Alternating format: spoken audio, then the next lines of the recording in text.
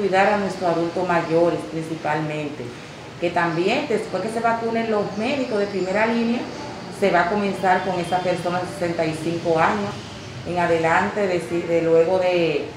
50, 60 y así sucesivamente, y las personas que tienen comorbilidad también, que son los pacientes que más fácil pueden morir de un COVID, más fácil que una persona joven.